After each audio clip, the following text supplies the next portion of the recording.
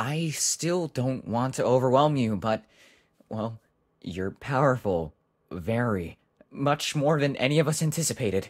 And there are people, well, a certain someone that is scared of that. The more I think about that, the more I think this is her doing.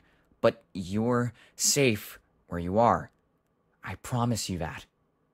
I promise you that.